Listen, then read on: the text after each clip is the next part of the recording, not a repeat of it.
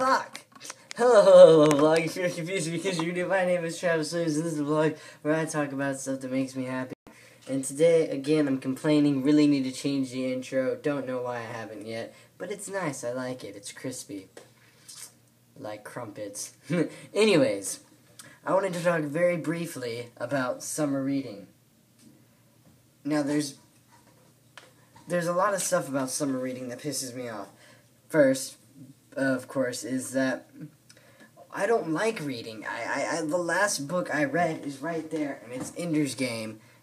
Like full through, I've read like I, I've I've started reading a couple. You know, like I'm halfway through the Hitchhiker's Guide, and I've read a couple of pages for some you know assignment from Miss Shreve or Miss Mochulik. Yes, that was the other lady. Mm. Anyways, Miss Shreve, Miss Mochulik, and anyways, but yeah.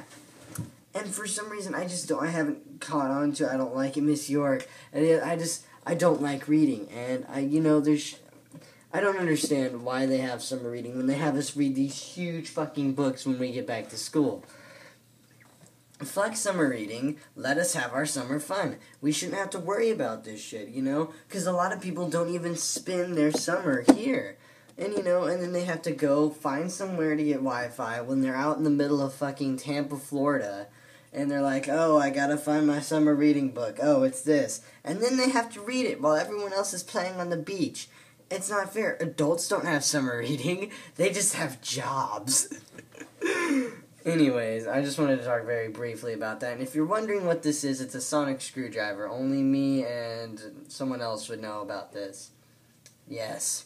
I actually got one. It's David Tennant's. I'm talking to a eggplant. Anyways, I just wanted to say I hate summer reading and like it, like even one of the smallest books I've ever like read, literally the smallest book I've ever read is this and it's Erdnase.